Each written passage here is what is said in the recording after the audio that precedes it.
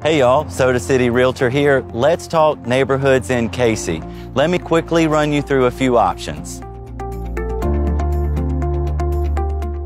Welcome to Moss Creek. She's a well established neighborhood, lots of cul de sac lots off the main drive. Most of the homes have larger lots, private backyards, and range in size from 1,200 to 4,000 square feet. Price range upper 100s to upper 300s. You'll see brick, wood, stucco, stone, and vinyl used in construction. Some even have in ground pools. Interstate 26 and 77 are seconds away. Let's hop over to Edenwood. So I'll start with what most people think the best part about living in Edenwood the pool.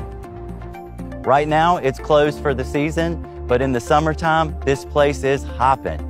As you can see, there's a large swimming area, kiddie splash pool, diving board, deep water, concessions area, picnic shelter, and during peak season, on duty lifeguards.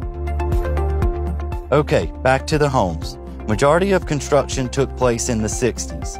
From the mid 100s to the low 300s, you'll find a mix of tri level and brick ranch style homes, ranging in size up to 4,000 square feet. Some offer formal living or dining rooms. Quite a few have been stripped down and updated.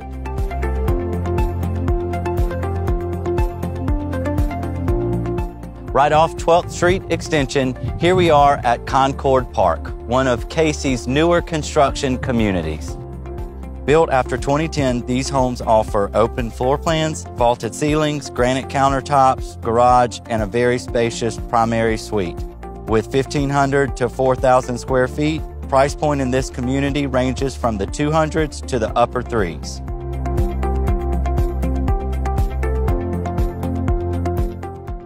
While we're on new construction, let's take a quick look at Congaree Bluff, one of Cayce's newest communities. Custom built homes by Lady Street Builders, Congaree Bluff screams low country charm and character. This community features floor plans that include the primary suite on the main level, elegant kitchens with high end appliances, large bathrooms, dual vanities, and bigger closets. Congaree Bluff homeowners definitely enjoy their private neighborhood access to the Riverwalk. Price tag low 400s to mid 500s.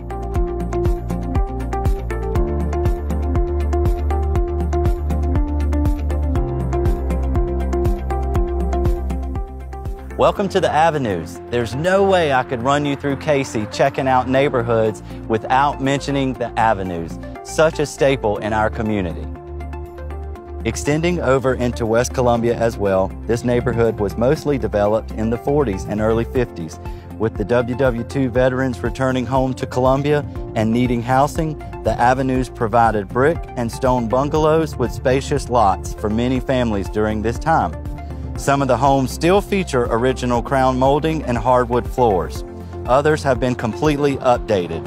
The avenues offer everything in size from 750 square feet to over 4,000. This has always been a popular community with its small town feel and larger capital city just minutes away. With a wide range in pricing, I'm sure the Avenues has something to fit your budget.